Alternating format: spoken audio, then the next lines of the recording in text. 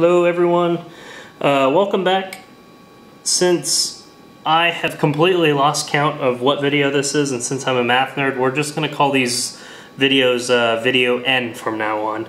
Um, since I have a terrible memory and this is really terrible because uh, I think this is only like the fourth or fifth video I've done and I've already lost count. But anyways, uh, in the last video I showed you how to put together these uh, these individual 4 in 1 patterns and obviously to make the full chainmail we have to be able to join all these together into a large pattern. So what I'm going to show you now is how to actually do that.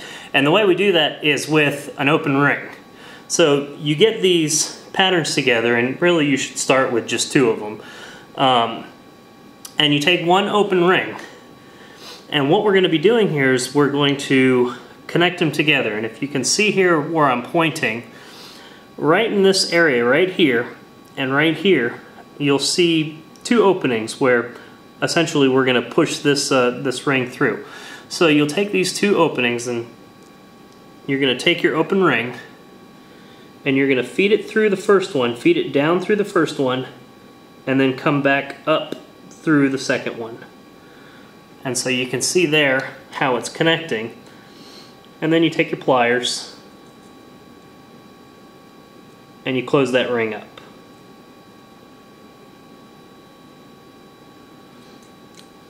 So now, if I spread this back out, you can now see that we've connected that into one long chain.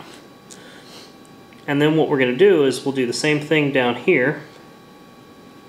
This is always the hardest part for me. I can never seem to get these to lay down flat.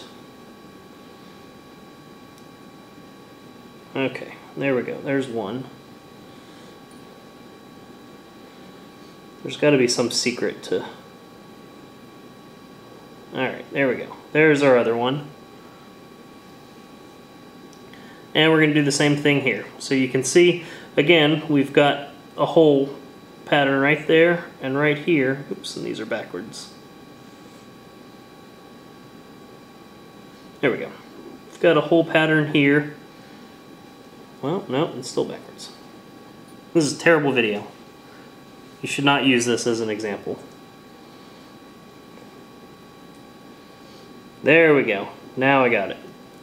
You'll want to take your open ring again and you're going to feed it down through that open hole and back up through the other side. And then again,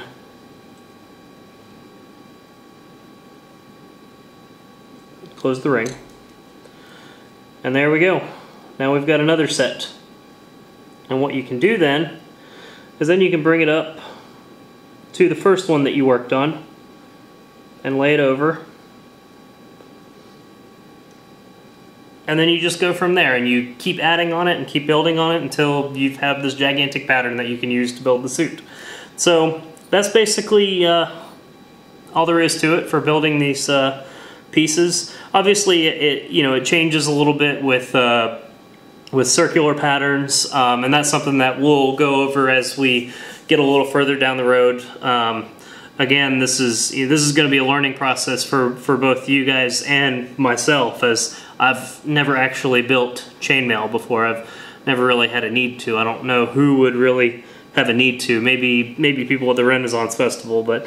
Um, so it's going to be a learning experience for me too. Um, hopefully by the time that I get to those circular parts, it'll just uh, be obvious uh, the solution. And um, if not, it's going to be a very expensive mistake. But but we'll pull through it together. So if you have any comments or you know suggestions, or if you've done this before and you want to tell me something, you know, uh, kind of prevent me from from making the same mistake that you did, that would be wonderful uh, as far as I can tell, at least in the in the larger community of some of the more well-known coilers, um, I don't think anyone's ever built their own chainmail. I know of several several people that you know, purchase their their chainmail suits. They purchased shark suits, and that's just outside my budget for for a small hobby. So um, I'm not looking to spend three grand on a shark suit. So I'd rather build one myself. You know, that way you can kind of, you can put, um,